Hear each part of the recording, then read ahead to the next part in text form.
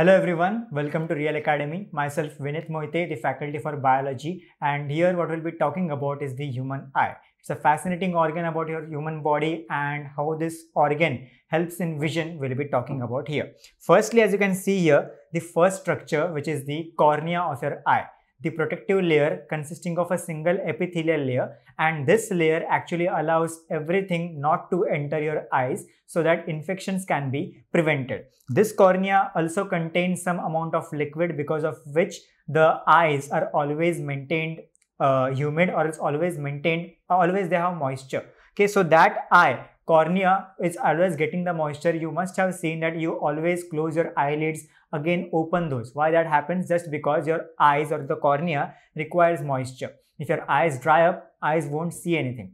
The cornea will die. And so to as to moisten up that cornea, you always require closing your eyelids. Apart from that cornea, inside that, you can see various such structures. But before that, you must be looking at this white colored structure.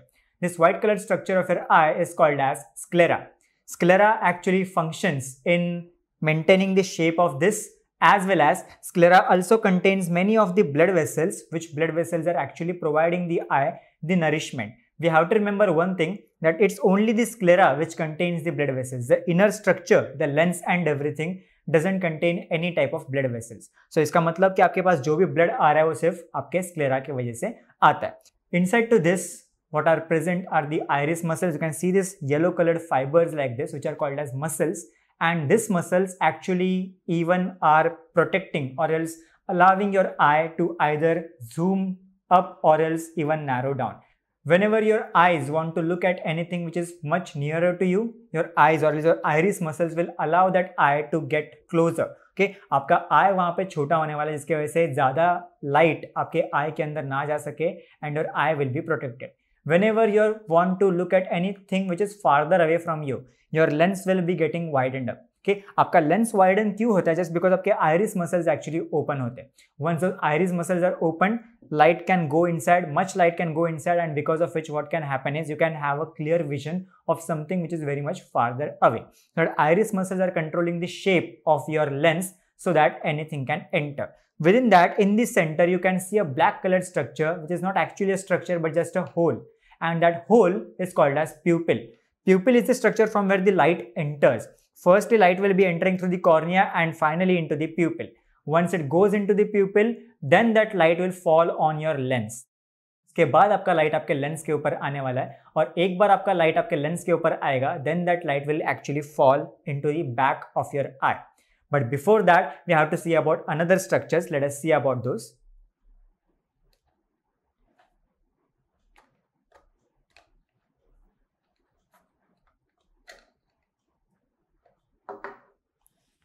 You can see the upper structure here. This upper structure is actually even black in color, mostly black in color or else darker in color inside our eyes too. And that upper layer is called as choroid. This choroid is basically supplied by many blood vessels. Let us see those blood vessels.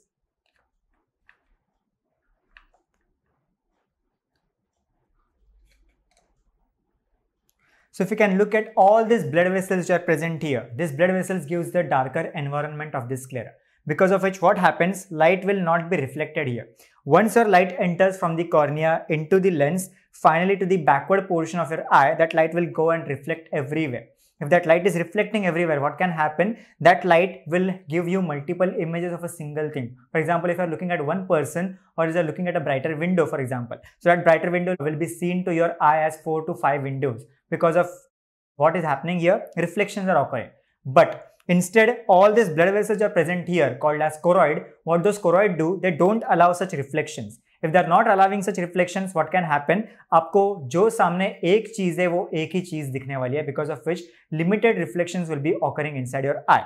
we must be knowing about flash photography whenever a camera is in front of you and if that camera is clicking pictures of you with a flash what happens your eyes look red in color why those eyes are becoming red in color? Because that flash has large amount of light. Whenever that light enters from here, it will go back and will start reflecting everywhere. Okay, once it reflects everywhere, what will happen is once you see at your image into the camera, that image will have red colored eyes. Why you get red colored eyes? Just because that light is reflecting everywhere into your blood vessels of the choroid and choroid के blood vessels मतलब वो red color के रहेंगे इसके वजह से आपका total eye वहाँ पे red color का दिखता है that's about your choroid once you go back at this structure you can see those blood vessels are continuing into another structure the back of the eye and that back is called as retina so basically what is happening here you have light entering from here that light will pass through the cornea Next, you have your lens from where the light will pass on to the retina. Once it goes on to the retina here, that retina has two types of cells. One of them is called as rod cell. Second one of that cell is called as cone cells. Rod cells are basically important to give you a dim light vision. For example, if there are no lights around you and you're looking at something, then rod cells are something which are present here, which are actually helping you in that vision. Secondly, cone cells are helping you in differentiating various colors. Both of these cells are present at the back side of your retina. Okay, both of these cells are actually important in vision, both in color vision as well as in dim light vision too. So ये आपका जो part है retina, it will allow that images to be formed. Once images are formed here, those images will be now taken by the next part called as optic nerve. Okay, optic means your eye, nerve means a bundle of neurons. ये neuron straight आपके brain तक जाने वाले okay so which means what is happening from here the image will be formed that image will be going towards the optic nerve that signal will be going towards the optic nerve and that signal will be now reaching the brain therefore your brain understands what is there in front of you uh, brain will understand whether that thing was seen by you any time earlier तो आपका brain उसके हिसाब से आपके images यहाँ पे बनाने वाला है so retina basically helps year in forming the image and that image will be then considered by the brain because of this part called as your optic nerve Apart from them, just beside the optic nerve, you have another spot on the retina and that spot is called as yellow spot or else macula lutea.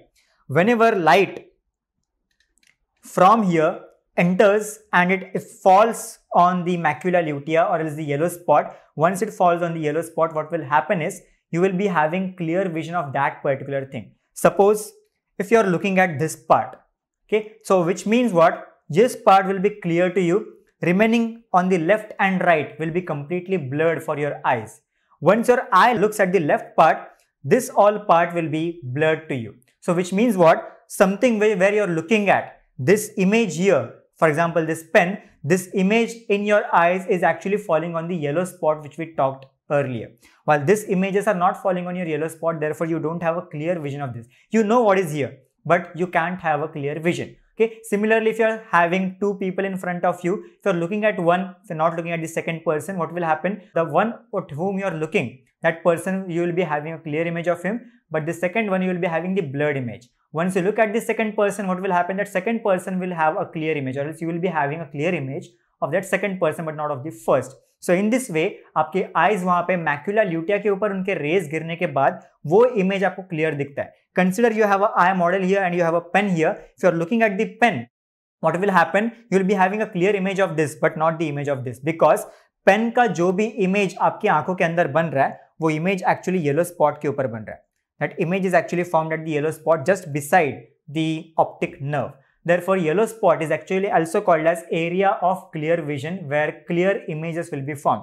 Elsewhere, clear images won't be formed unless you focus on that point. So basically the point where you are focusing, वो point आपका clear image बन जाता है because वो point के rays आपके macula lutea के ऊपर गिर रहे हैं और इस येलो स्पॉट के ऊपर गिर रहे हैं next one this area from where the optic nerve is arising ये जो एरिया है जहाँ से ऑप्टिक नर्व बाहर निकल रहा है that area doesn't have rods, that area doesn't have nerves.